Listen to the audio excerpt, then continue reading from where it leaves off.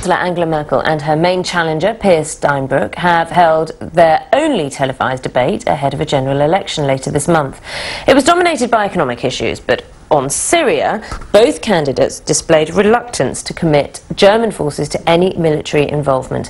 Angela Merkel is significantly ahead of her rival in the poll.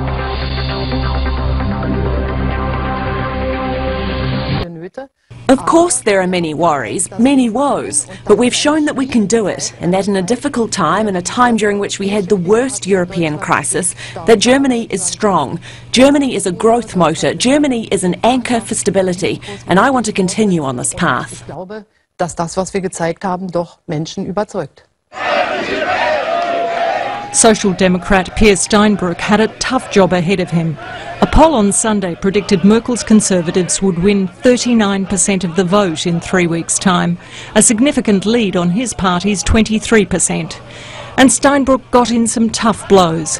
He said the working poor had increased under Merkel's lead and attacked her handling of the debt crisis abroad.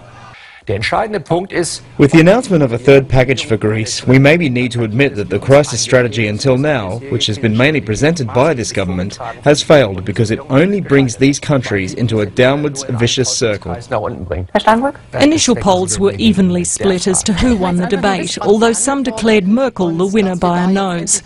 Most pundits agreed neither rival landed a decisive blow that could determine the election outcome. May have had millions of viewers, but this was not a debate that set the nation's television screens on fire. One of the big problems being that there is so little really to choose between uh, the two candidates in terms of actual policy. Peer Steinbrück of the opposition Social Democrats having the first word, uh, promising to campaign on a platform of social justice, of lessening the gap between the rich and the poor and of stopping what he billed the vacillations of the current government.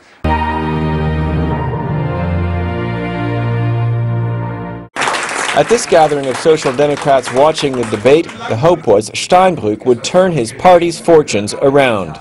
I think he was very active, he was in a good mood, and I think he had the better arguments.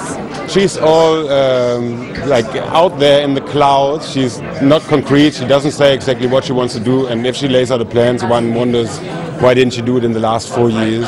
And I think he was pretty precise about what he wants to do, and I think he presented it in the in a good way. One of Steinbrück's biggest problems has been that this election seems to be more about personalities than policies.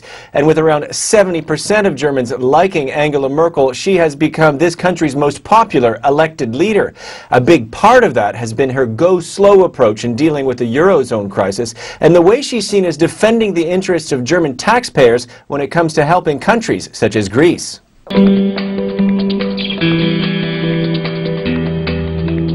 It was interesting to see the different opinions, but it didn't really help, because there were always excuses. Let's wait and see if it will get better in the coming weeks. Mal schauen, ob es die nächsten Wochen noch besser wird. Around 15 million people watched the debate, which one poll marked 49% to 44% in Steinbrück's favour, while another gave the two-term Chancellor a one-point lead.